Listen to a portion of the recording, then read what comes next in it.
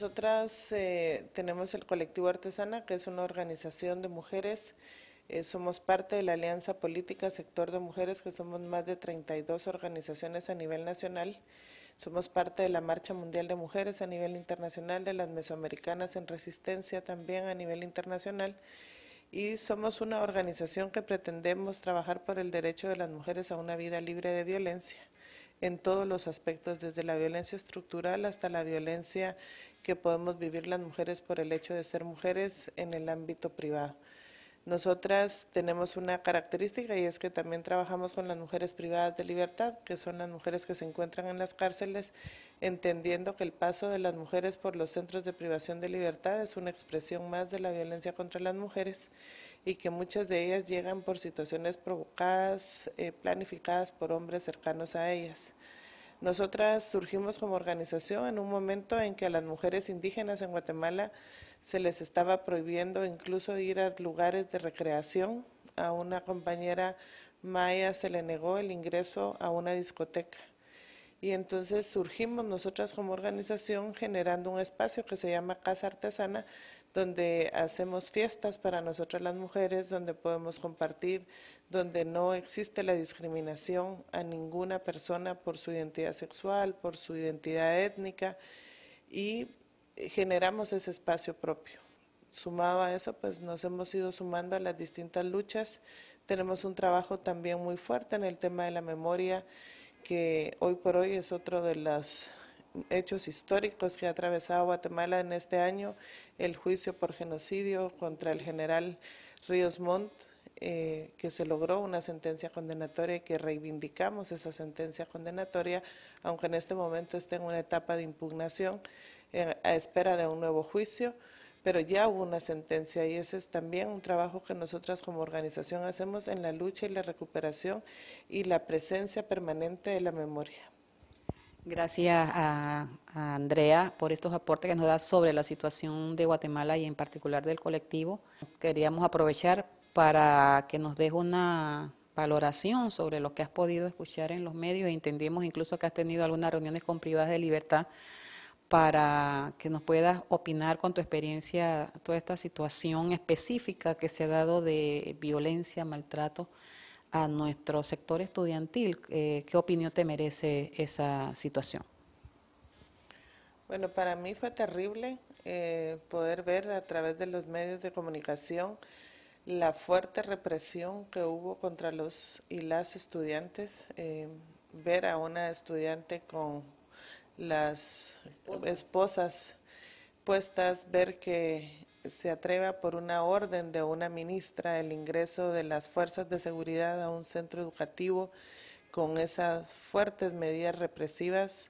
es algo terrible que me parecería a mí y en Guatemala probablemente sería así, que todos los movimientos sociales estaríamos en la calle protestando y denunciando y exigiendo la renuncia de la ministra que está atentando contra lo más importante que tiene una sociedad, que son los niños y los jóvenes. Me parece a mí que hace falta aquí eh, la solidaridad con estos estudiantes, la no criminalización de la protesta, la no criminalización de la juventud, es militarizar nuevamente ya América Latina hemos pasado por la represión y por la militarización y esto es un gran paso de retroceso para una sociedad que está saliendo de esto, donde por situaciones históricas conocemos que los jóvenes justamente de ese instituto representan y son eh, tienen un hecho histórico que marca a Panamá. Por lo tanto, la sociedad debiese estar indignada por lo acontecido Creemos que hay que hacer un llamado a los organismos internacionales a que se pronuncien porque no puede suceder en ninguna parte del mundo que se actúe de esa manera con el uso de la fuerza que se hizo en contra de la juventud y en contra de los jóvenes. Y la gran palabra que le hizo falta a la ministra en sus declaraciones es la prevención. ¿Dónde están las medidas preventivas? ¿Dónde está el trabajo con esta juventud que efectivamente a través de los medios sociales, a través de distintas situaciones, redes sociales, se contamina, que puede tener situaciones de violencia y de agresividad con sus compañeros? Pero ese es el reto. ahí el reto justamente la prevención, las instituciones que trabajan en favor de la niñez y la juventud, ¿dónde están esas políticas para la prevención del delito, para la prevención de la violencia con la juventud? Creemos que es un reto importante. Me parece más indignante que la ministra se base en que está haciendo lo correcto porque ya convenció a los padres de familia en que la represión es la medida. Si ella está formando jóvenes